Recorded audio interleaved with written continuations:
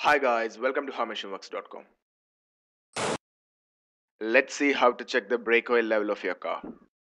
Let's open up the bonnet. There is a small lever. Uh, just push it.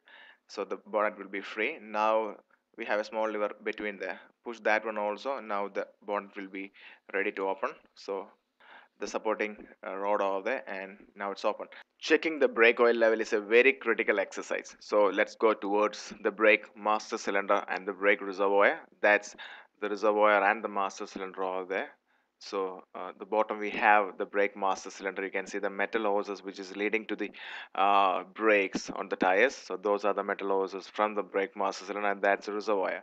So before opening it up make sure that you clean the cap of the reservoir because uh, uh, there are dust particles and if you open it without cleaning those dust particles will definitely get into uh, the brake oil and contaminate the oil.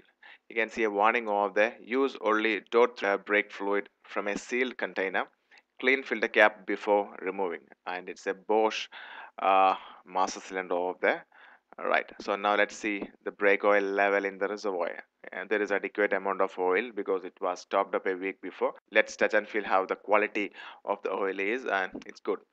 Uh, so brake oil level is very critical because if there is no sufficient brake oil level it will result in less efficiency of braking you need to press the pedal low down to create a braking if there is uh, uh, no sufficient amount of brake oil. Or if there is leaks on the brake oil circuit also the brake oil level can go down. So it's very important is to check the brake oil level weekly enough because if there is a leak you won't be able to identify it and that can critically damage your vehicle. We'll be uploading technical videos on a daily basis.